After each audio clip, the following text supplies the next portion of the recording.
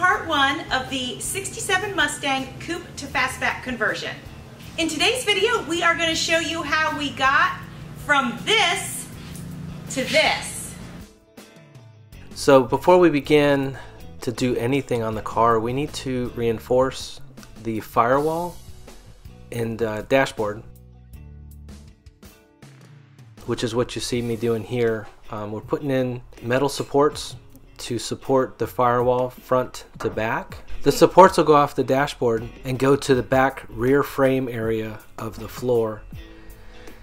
And that's where you see me welding here. That will support the firewall once everything is cut away, including the roof and the quarter panels. And that'll help keep the body from flexing, the floor from flexing. Just a couple things to point out that you don't see in the video. The car is on jack stands. The car was leveled before any of this started. So there's uh, scissor jacks on the front frame rails where the motor is. There's jack stands under the middle of the car and there's jack stands towards the rear of the car. Before we begin any of the process, you want to make sure that the body, well, the floor and the frame and everything is level. And that way when you put everything back together, um, your gaps and everything will go back together the way it should and the car will sit straight.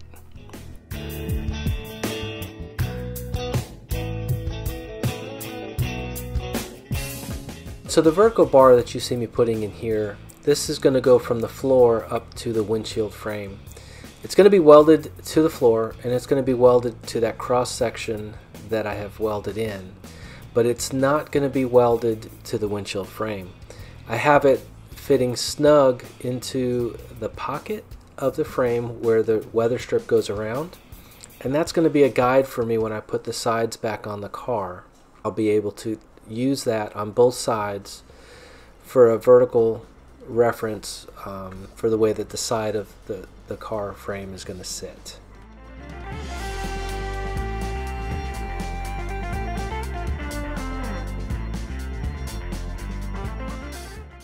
Okay, the bar that I'm putting in now, this bar is going to be welded to the frame that I made and then to the floor. This is just going to keep everything from moving from side to side. So now everything is secured front to back, side to side. Now that the bracing is in, it's time to start cutting the car apart. Robbie and I are both using Sawzalls at this point um, to start cutting the roof off. So I just want to explain a couple of the other tools that we're using. We're using the sawzalls that you see here. We're going to use an air impact chisel. We're going to use a plasma cutter. We're going to use spot weld cutters, which are small drill bits to drill out the um, spot welds.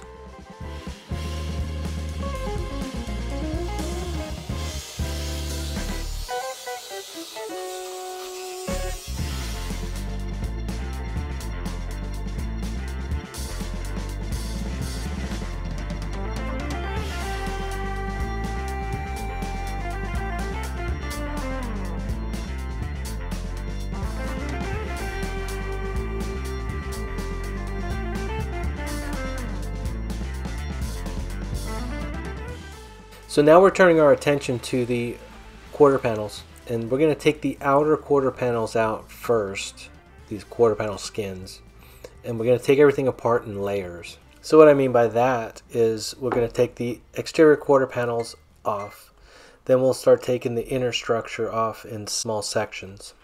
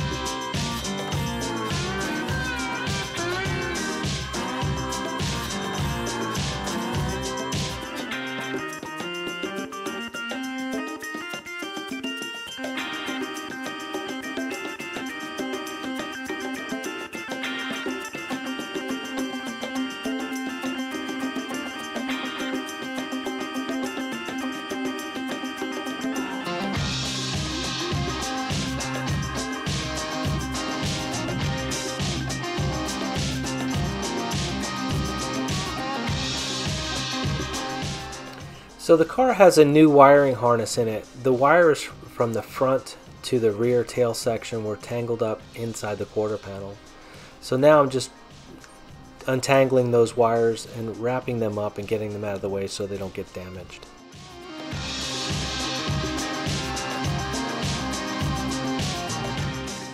Now we're on to the passenger side quarter panel using the same procedure as the driver side.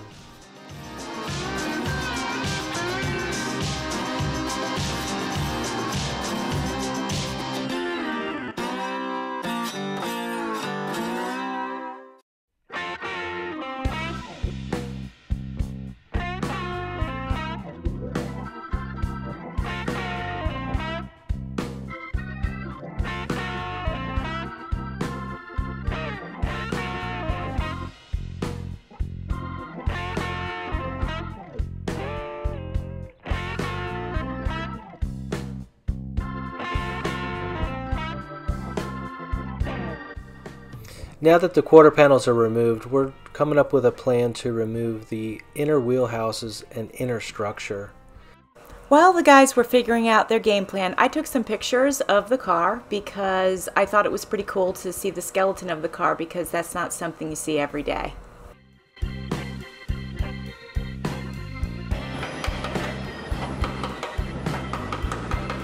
So now we've made the decision, we're going to try to remove the inner wheelhouses as one unit. And I'm now I'm using the plasma cutter to start cutting it at floor level.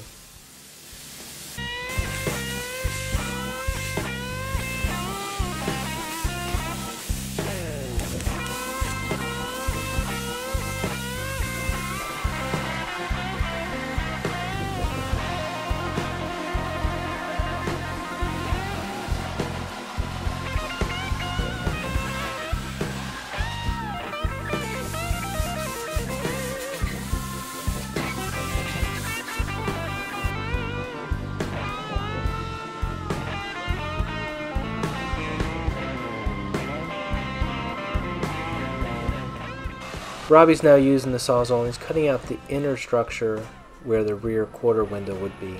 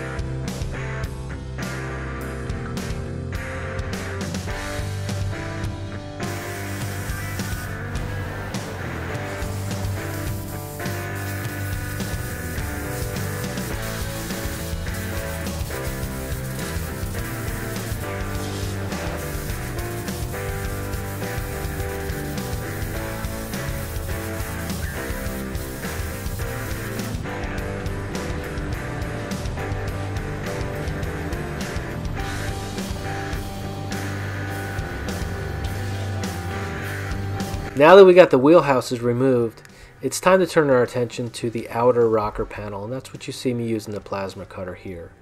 Um, first I'll cut it straight down from the top, and then I'll cut it up from the bottom. And you got to be careful and make sure that you cut it straight up and down so you don't cut into the inner rocker panel.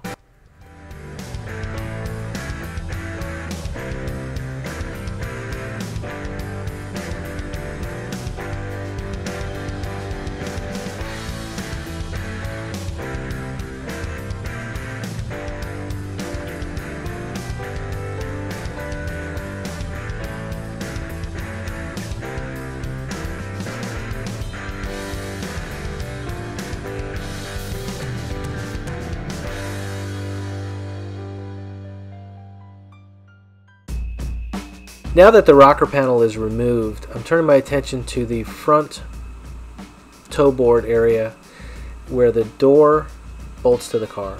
This section needs to be removed as well as the entire toe board area. This process here takes uh, quite a long time and uh, there's a lot of spot welds to cut and separate so we don't do any damage to the firewall, the cowl, or the rocker panel. Now using the plasma cutter only separates the outer rocker panel from the inner rocker panel. It leaves the two parts that are still spot welded together. So that's what you see me using here. I'm using an air hammer to separate the and cut these spot welds and remove that thin layer of metal that's the last remaining metal from the rocker panel.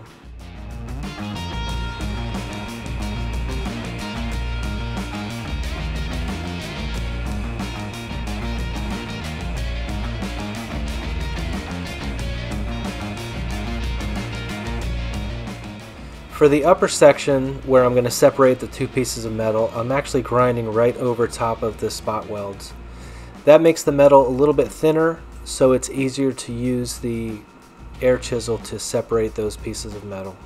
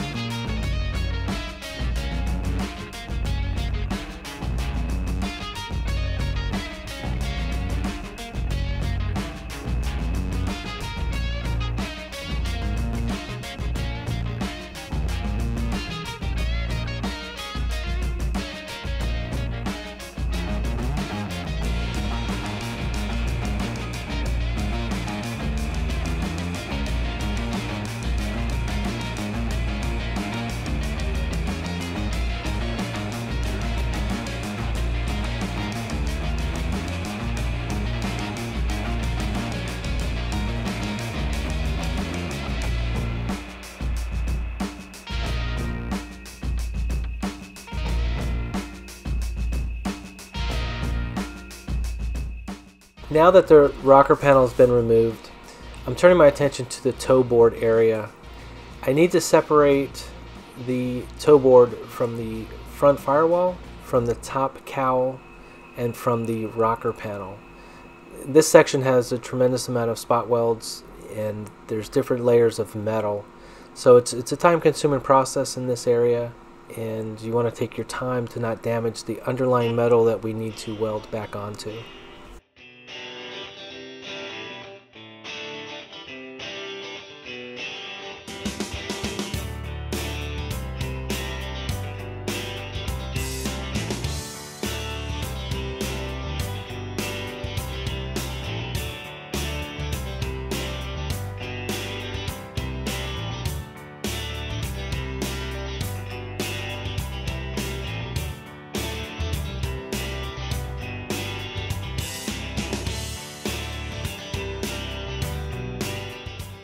Now in this section you can see I, have drilled out some of the, the spot welds and then I've also ground them down with the grinder and that makes it a lot easier to use the air hammer to separate the two pieces of metal and that's what I'm doing here.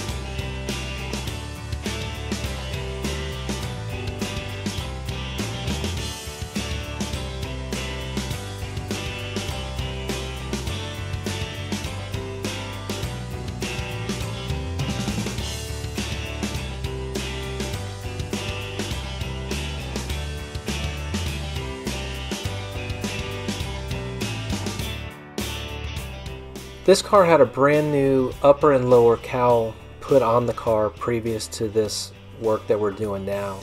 So what I'm doing is I'm grinding back the filler and the sealer that was put on there to expose the spot welds that they used to mount those pieces together. Once I expose those spot welds, then I'm going to drill those spot welds out and separate the bottom piece of the uh, toe board